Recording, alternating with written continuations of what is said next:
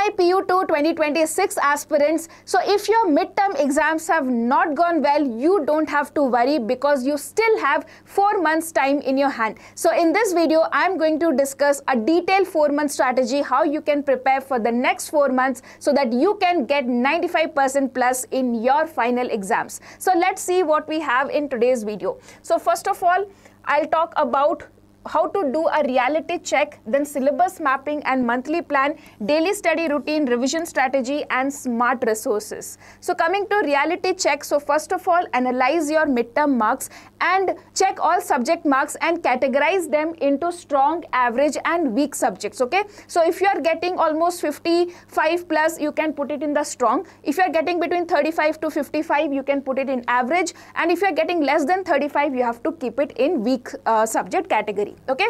Next what you have to do subject uh, syllabus mapping and monthly targets. So now you have to see how many chapters have come in the midterm and how many chapters are left okay? So if i see the uh, uh, schedule or the syllabus which I had in physics 6 chapters, maths 5 chapters, chemistry 4 chapters and bio 6 chapters, right? So that accounts to almost uh, I can say 10, 16, 21 chapters, right? So now we will be mapping this 21 chapters. So you have to focus 7 chapters from mid-October till November. In November, you have to target 7 chapters and in December, 7 chapters. This is how you can distribute them. So as uh, if you're in your class, in your school already the syllabus is completed, then you have to uh, just follow this particular uh, timetable or else if in your uh, classes or in your college the syllabus is still not completed and it will be completed by October, uh, I can say by November. So you have to go with your school, like whichever chapter is done there, you have to complete it in your home as well. Okay. Next, what should be your daily study routine? So you have to spend 7 hours for sleeping, 7 hours you can spend for college and 4 hours for daily core. Okay. So now that accounts to almost 19 hours. Okay. So we have left with 5 hours for self-study. In that first you should do school or college revision. So whatever is taught in the school or revision uh, in your college, you have to come and revise everything so that you don't create any uh, backlogs here.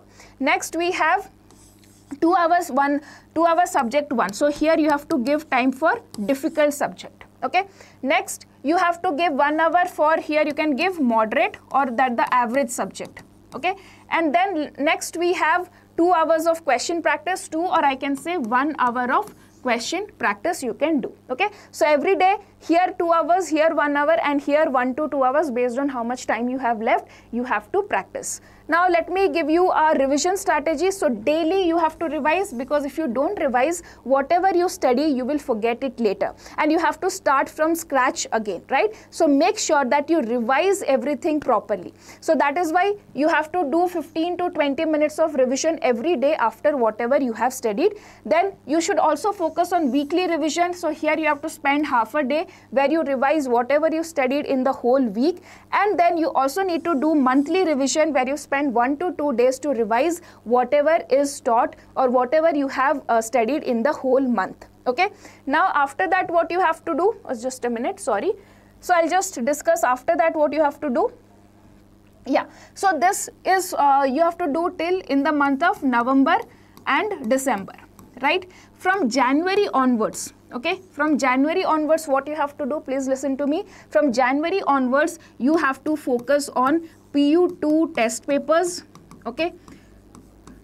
PU government will release the model question papers that you have to focus and for all the chapters you have to do the PYQs once again. Okay, you have to solve the PYQs, you have to solve the test papers and also you will have pre-board papers, right? So you have to focus on pre-board papers. Now coming to the month of February, here what you have to do here you have to also solve model question papers so at least 4 to 5 model question papers per subject you have to solve okay?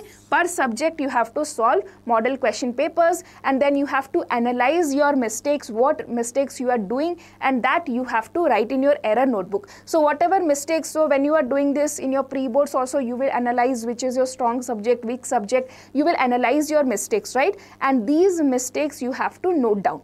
And where will you note down? You will note down in sorry just a minute. Yeah. So where you will note down? You will note down in your error notebook. Okay? So just let me repeat. In january what we have to do? In the month of january we have to do focus on our practicals. Okay? And pre-boards. Okay? And we have to solve uh, model question papers and previous year papers. Okay? In the february month you have to fully focus on revision from where you will revise. See, when you have solved these many question papers, there will be so many questions that you did wrong that all should be noted in your error notebook. Now, in the month of February, what you have to do? You have to do revision. From where? From this error notebook. Again, also you have to solve more sample papers. Okay. So from now onwards, whenever you are studying, there should be only one resource that you follow, that is your NCERT resources. Okay, read all the chapters line by line in your NCERT resource and then you have to continue till now till December just try to complete the entire syllabus. In January, try to focus on your uh, question practice. In February, again revision and question practice. So if you follow this four month strategy, definitely you can get 95% plus in your final exams. I can guarantee you that. So please focus in this way. If you have liked this video, do not forget to subscribe the channel and put down your doubts in the comment section.